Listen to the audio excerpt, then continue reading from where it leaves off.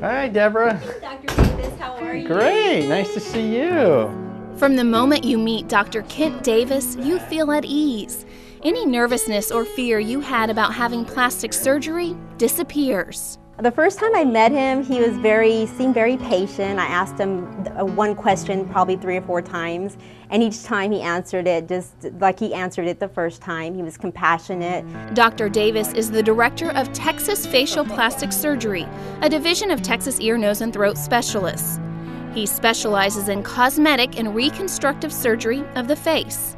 I think that in choosing someone like myself who just specializes on the face, and they get the, the benefit of the experience and years of skill that I've developed on, on just perfecting the results that I obtain with the face. And my goal is to provide a, a very natural aesthetic result on the face. And I think that that comes from experience and specialization.